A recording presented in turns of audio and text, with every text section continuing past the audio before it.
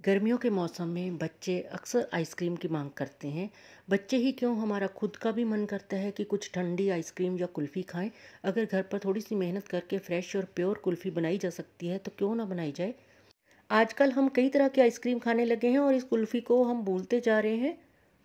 बाज़ार में जो कुल्फ़ी फालूदा मिलता है, उसमें भी यही कुल्फ़ी होती है। और आज मैं यही मलाई कुल्फ़ी की रेसिपी आपके साथ शेयर करने वाली हूँ। इसे घर पर बनाना बहुत ही आसान है। तो चलिए शुरू करते हैं। इससे पहले आप मेरे चैनल मोनिकास डी को सब्सक्राइब कर लें। तो सबसे पहले हम गैस पर रखेंगे एक हैवी बॉटम वाला पैन या कढ़ाई और उसमें डालेंगे एक लीटर दूध। तो यहाँ पर मैंने एक लीटर दूध फुल क्रीम वाला यूज़ किया है। अब मीडियम फ्लेम पर इसे धीरे धीरे करने देंगे, यानी रिड्यूस होने देंगे। बेसिकली हमें दूध को गाढ़ा करना है। पैन में साइड में जो भी मलाई लगती जाए, उसे भी खुरच कर बीच में ही डालते जाएँ। इससे दूध जल्दी गाढ़ा हो जाएगा। और आप दूध को गाढ़ा मीडियम फ्लेम पर ही करें और बीच बीच में दूध को चलाते रहें ताकि दूध नीचे ना लगे। अगर दूध नीचे लग गया तो कुल्फ़ी का सारा स्वाद बिगड़ जाएगा। अब दूध थोड़ा सा गाढ़ा हो चुका है तो इसमें डाल लेंगे चीनी। तो आधा कप मैंने इसमें चीनी डाल दी है। चीनी को मिक्स करेंगे। और साथ ही इसमें डाल देंगे आधा कप खोया। तो खोए से इसका टेस्ट तो बढ़िया बनेगा ही, साथ ही साथ ये गाढ़ा भी होएगा और इसका कलर भी बहुत अच्छा हो जाएगा।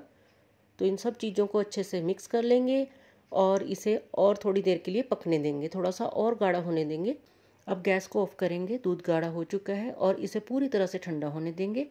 ठंडा होने के बाद ये थोड़ा सा और गाढ़ा हो जाएगा। इसका टेक्सचर कुछ इस तरह से दानेदार बनेगा। आप कहेंगे कि मलाई कुल्फ़ी नाम है, लेकिन मलाई का अभी तक ज़िक्र नहीं है तो चलिए मलाई की तरफ़ बढ़ते हैं। तो मैंने दूध के ऊपर से फ्रेश मलाई उतार ली है। आप घर की मलाई यूज़ कर सकते हैं, बाहर की क्रीम भी यूज़ कर सकते हैं। तो आधा कप मैंने घर की फ्रेश मलाई ले ली है। अब इसको थोड़ा सा फेंट कर इस ठंडे किए हुए गाढ़े दूध में हम इसमें डाल देंगे। अभी तक कुल्फ़ी में हमने कोई भी फ्लेवर नहीं डाला है। फ्लेवर के लिए आप इसमें रोज़ वाटर भी डाल सकते हैं। या फिर आप इसमें इलायची का पाउडर डाल सकते हैं। तो मैं यहाँ पर इसमें हाफ़ टी स्पून इलायची का पाउडर डालने वाली हूँ। अगर आपके पास इलायची पाउडर नहीं है तो आप ग्रीन इलायची, जो छोटी इलायची होती है, उसे कूट कर उसके दाने कूट कर इसमें डाल सकते हैं। एक बार इसे मैंने चम्मच से अच्छे से मिक्स कर लिया है। अब इसको विस्कर से अच्छे से फेंट लेंगे, ताकि अच्छे से मिक्स हो जाए जो मलाई हमने डाली थी।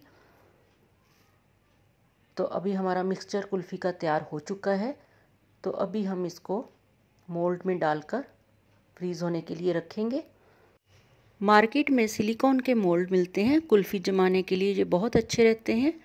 तो अभी इनमें स्टिक लगा देंगे। अगर आपके पास ऐसे मोल्ड नहीं हैं तो आप आइस ट्रे में या छोटे कांच के गिलास में या फिर डिस्पोजेबल ग्लास में इसे जमा सकते हैं। तो इस तरह से सारे मोल्ड में आइसक्रीम का मिक्सचर डाल देंगे। मोल्ड को थोड़ा सा टैप करेंगे और फिर इसे फ्रीज़र में चार से पाँच घंटे के लिए जमने के लिए रख देंगे। पाँच घंटे हो चुके हैं, कुल्फ़ी जमकर तैयार है। देखा आपने कितनी आसान है घर पर मलाई कुल्फ़ी बनानी। बहुत ही टेस्टी मलाई कुल्फ़ी बनकर तैयार है। लग रही है ना बिल्कुल मार्केट जैसी। इसे सर्व करना भी बहुत आसान है और खाना भी आसान है और बहुत ही टेस्टी कुल्फ़ी घर पर बनकर तैयार हो जाती है। तो अगर आपने अभी तक इस रेसिपी को नहीं बनाकर देखा तो आप ज़रूर ट्राई करें। गुलाब की पंखड़ियों से इसे गार्निश करेंगे। आप इस रेसिपी को ट्राई ज़रूर करें और फिर कमेंट बॉक्स में ज़रूर बताएँ कि ये रेसिपी आपको कैसी लगी। अगर आपको ये रेसिपी अच्छी लगी हो तो इस वीडियो को लाइक और शेयर ज़रूर करें। Thank you for watching my video मिलती हूँ एक और नई रेसिपी के साथ। तब तक के लिए देखते रहे। मोनिकास डी